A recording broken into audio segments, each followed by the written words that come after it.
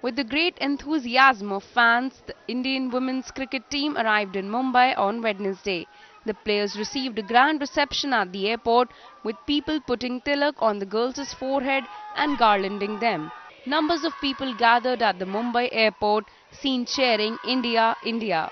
Eight players including Harmanpreet Kaur, Jhulan Goswami, Sushma Verma, Smriti Mandhana, Shikha Pandey, Poonam Raut and Deepti Sharma landed in India early morning, whereas the rest of the players will join later in the day.